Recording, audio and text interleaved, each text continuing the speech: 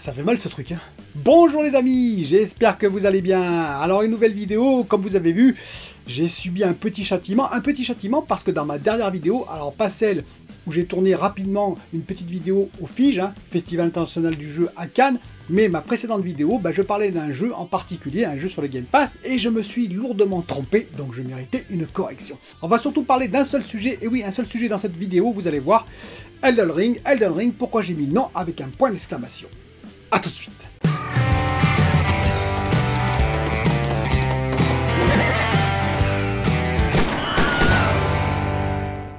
Pour commencer, n'hésitez pas à vous abonner, et oui, abonnez-vous, ça aide la chaîne, comme d'habitude, vous le savez bien entendu, mais ça aide la chaîne, on parle de sujets divers et variés sur cette chaîne, et surtout il y a pas mal d'échanges avec bien entendu ceux qui me laissent des commentaires, vous pouvez mettre votre avis, et je suis ouvert aux avis, du moins qu'ils soient bien entendu exprimés dans le calme et le respect. Donc je suis du retour du FIGE, le Festival International du Jeu de Cannes, je vous précise que j'ai essayé pas mal de jeux, dont les As d'Or, et donc je vous en parlerai à la fin d'une prochaine vidéo de tous les jeux que j'ai essayés, et je vous donnerai mon classement et mon avis pour des jeux de plateau bien entendu, hein, de celui que j'ai le moins apprécié jusqu'à celui que j'ai le plus aimé. Mais avant d'entamer le sujet principal de cette vidéo, je vais vous expliquer pourquoi j'ai subi une punition, une auto-punition en début de cette vidéo. Et oui, comme je vous ai dit dans ma dernière vidéo où je parlais de jeux qui allaient arriver sur le Game Pass bah, durant le mois de mars en particulier, j'ai parlé d'un jeu qui s'appelle King Crusader 3 et j'ai dit qu'il allait arriver sur le Game Pass PC et que bien entendu les jeux de stratégie, ah, c'était difficile de les mettre sur console. C'est pour ça que les jeux de stratégie qui sont assez nombreux sur le Game Pass, ils sont sur PC, Game Pass PC. Eh bien, j'avais tout faux. D'autant plus tout faux que plusieurs abonnés m'ont rectifié, dont un en particulier qui m'a fait un petit rappel comme quoi j'ai quand même des troubles de la mémoire parce qu'il m'a rappelé que j'en avais parlé, voilà, à un moment déjà, de King Crusader 3 puisque je l'ai acheté. Et oui, je l'ai acheté alors qu'il était sur le Game Pass PC déjà à l'époque. J'en avais parlé comme quoi je m'étais fait un petit peu avoir entre guillemets, c'est-à-dire que j'avais acheté le jeu alors que je l'avais sur le Game Pass PC.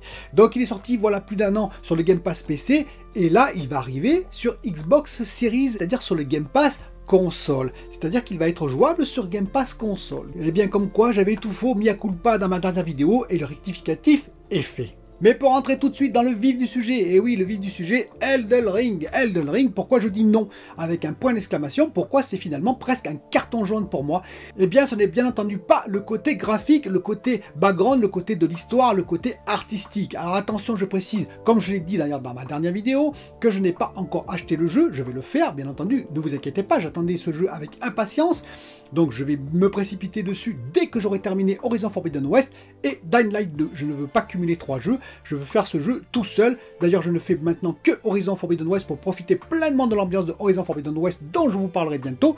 Et je vais finir après Dying Light 2 et ensuite, seulement ensuite, je ferai Elden Ring. Et oui, j'ai encore quelques heures de jeu devant moi. Mais donc, pourquoi je dis que Elden Ring, c'est non finalement avec un point d'exclamation? Eh bien, c'est le côté technique, c'est le côté, on va dire, la finalisation du jeu à sa sortie. Ça commence à me poser problème, tous ces jeux qui sortent finalement avec des bugs, je m'interroge.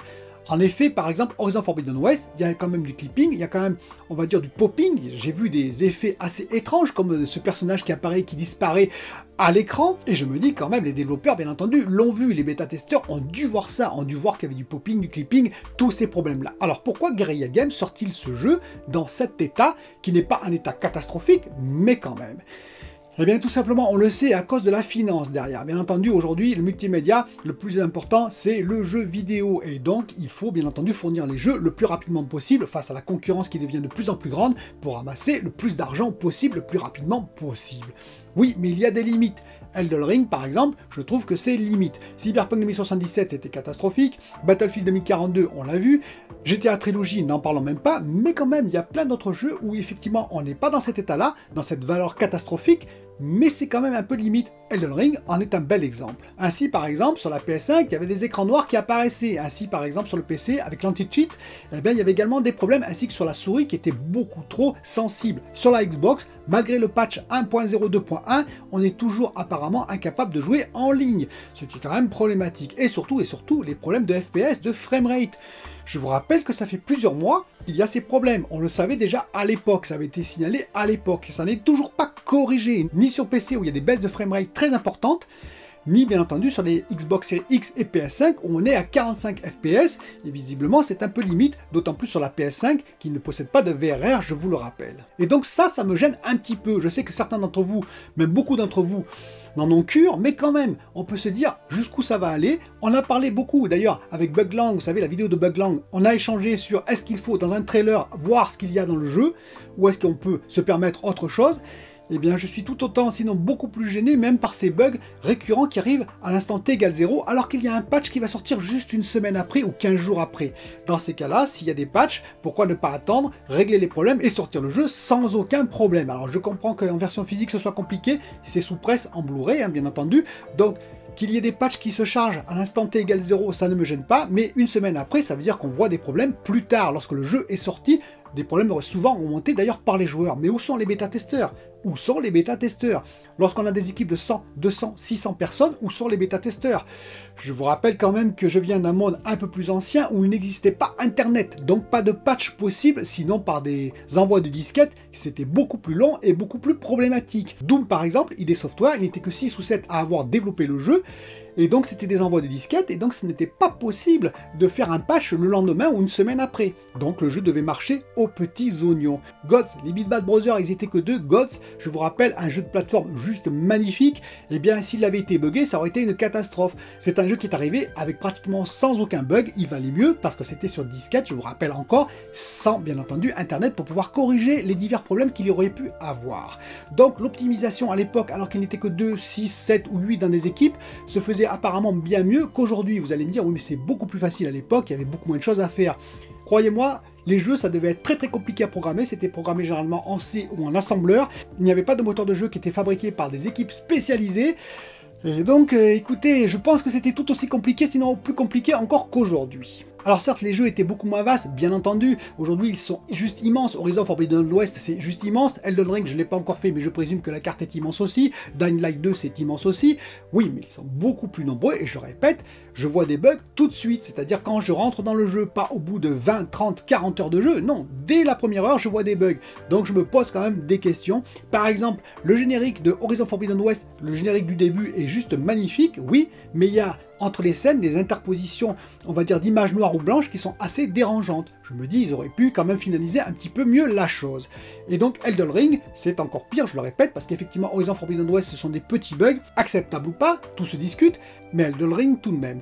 Ça me gêne d'autant plus que s'il y a une entreprise, une entreprise de développement qui fait tous les efforts nécessaires pour offrir un jeu sans aucun bug, une optimisation aux petits oignons et également aucun bug à la sortie, elle n'en sera pas récompensée vis-à-vis d'Elden Ring on le sait, qui sera dans les nominés des GOTY 2022 et qui sera peut-être même le GOTY 2022.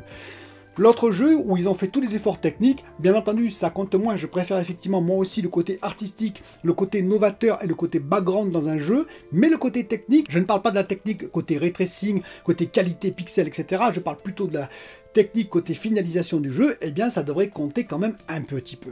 On en est quand même au point, je vous rappelle que Digital Foundry fait des préconisations, oui des préconisations pour ce jeu, sur le patch 1.02, je vous rappelle, c'est-à-dire qu'il préconise pour PC bon, ben, d'avoir un écran, un moniteur qui soit bien entendu, qui possède le G5 ou le Free 5, qui soit bien entendu compatible G5 ou Free 5. G5 Nvidia, Free 5 c'est AMD, vous savez, c'est la synchronisation, l'équivalent du VRR si vous préférez, de façon à pouvoir absorber les baisses temporaires de framerate et essayer de masquer ça, bien entendu, dans le jeu, même si Digital Foundry le dit, ben, ça nuit quand même un peu à l'expérience du jeu sur PC, et sur Xbox Series X et S, bien de profiter du VRR, puisque sur Xbox Series ça marche, et d'avoir quand même un téléviseur compatible VRR, variable refresh rate, je vous rappelle, pour profiter du jeu à 45 FPS. Là aussi, Digital Foundry dit que l'expérience pourrait être mieux quand même si on était plus haut, parce qu'il y a, ou alors en tout cas stable, parce qu'il y a des baisses de framerate, et ça se ressent quand même dans le jeu malgré le variable refresh rate. Et pour PS5, comme la PS5 ne possède pas le VRR,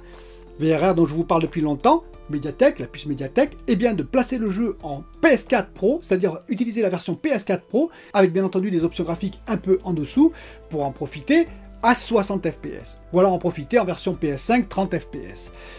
Mais tout ça fait dire que le jeu n'est pas vraiment finalisé à l'instant où il sort et que c'est bien dommage pour la réputation d'ailleurs de From Software, bon qui ne va pas être énormément attaché par ça, mais quand même il y a pas mal de joueurs qui râlent et une fois de plus donc il y a des connexions, un petit peu des connexions entre le monde professionnel tout ce qui est testeur professionnel et bien entendu le monde des joueurs qui subissent tous ces problèmes-là. Dites-moi ce que vous en pensez en commentaire comme d'habitude, j'attends vos commentaires nombreux et je vous dis à très très bientôt pour une nouvelle vidéo.